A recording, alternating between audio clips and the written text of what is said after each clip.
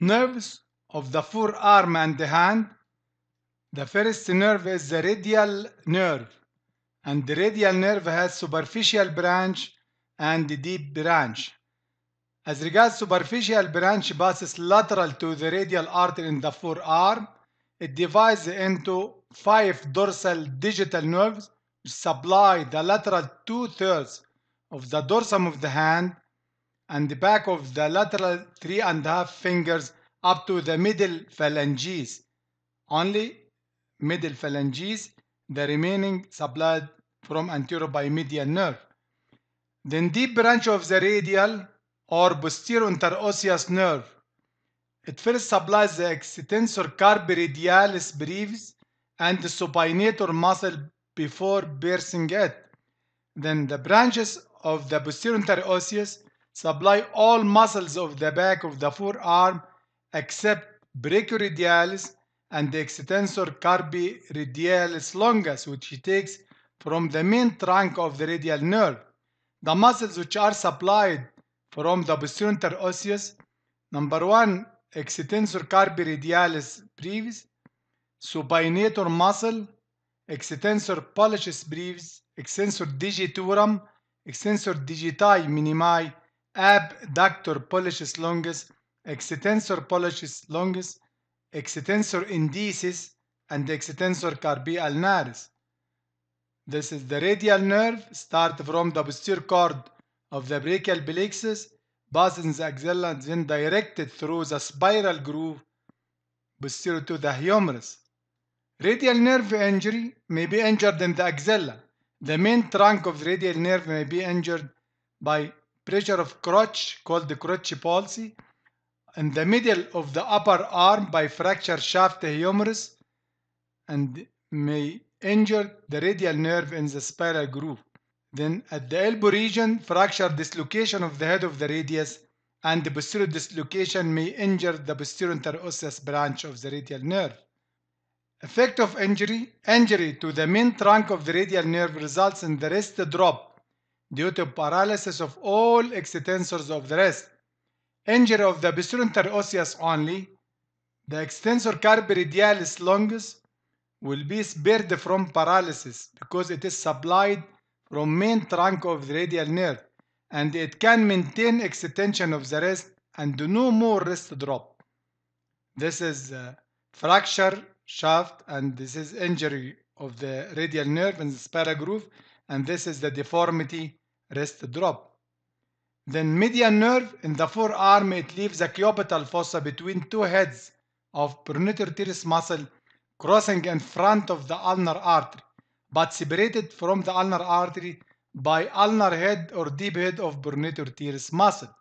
From this point, the median nerve is sent through the forearm between flexor digitorum superficialis and flexor digitorum profundus. Branch of the median nerve in the axilla or upper arm has no branches. Branches in the forearm muscular to the following muscles. Pronator teres muscle, flexor carpi radialis, palmaris longus if present, flexor digitorum superficialis.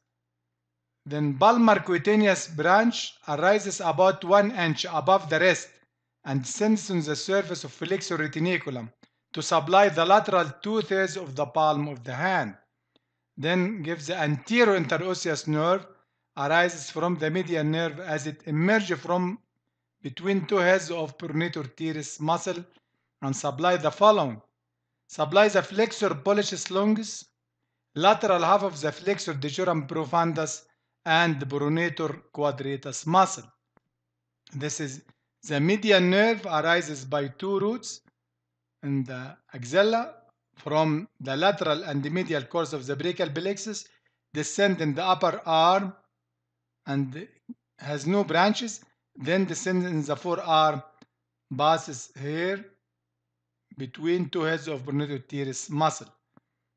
The median nerve in the hand gives the lateral branch supplies all thenar muscles except adductor pollicis.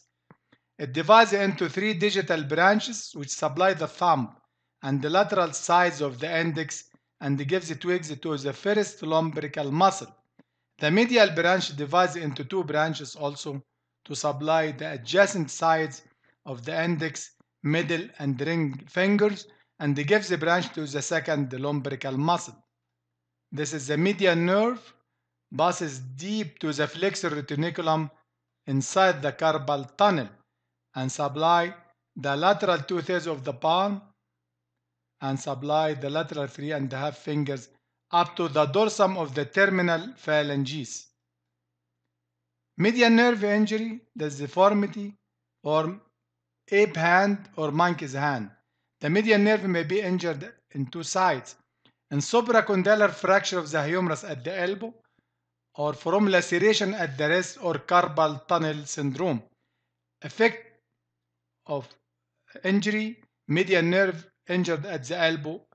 Pronation of the forearm is lost due to paralysis of both pronator teres and pronator quadratus. Flexion of the wrist is weak due to all flexors of the wrist are paralyzed except flexor carpi ulnaris and the medial half of the flexor digitorum profundus. Then ulnar deviation during flexion of the wrist due to contraction of flexor carpi ulnaris. Loss of opposition of the thumb and the other to the other fingers. This is monkey's hand. Then median nerve injured at the wrist. Only the thenar muscles except adductor pollicis and the lateral two lumbricals are paralyzed. There is loss of opposition of the thumb to the other fingers. This is the ape hand or monkey's hand. Carpal tunnel syndrome bringing pain or pains and needles along the distribution of the median nerve to the lateral three and a half fingers and the weakness of the thenar muscles. Thenar muscle and this is lateral three and a half fingers are affected. Ulnar nerve, it passes behind the medial epicondyle and enter the forearm between the two heads of flexor carpi ulnaris. Near the wrist, it passes on the surface of flexor retinaculum just lateral to pisiform bone, where it ends by dividing into superficial and deep branches. It passes outside the carpal tunnel. Branches has no branches in the axilla or in the upper arm. Muscular branches to supply flexor carpi ulnaris and the medial half of the flexor digitorum profundus. Sensory branches, palmar cutaneous branch to supply the skin of the medial third of the palm. Dorsal cutaneous branch to supply the skin on the back of little finger and the medial half of the ring finger.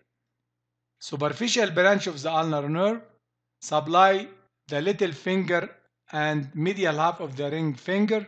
Deep branch of the ulnar nerve in the hand supply three hypothenar muscles, then 10 muscles, four dorsal interossei, three palmar interossei, as well as medial two lumbrical and adductor pollicis muscle.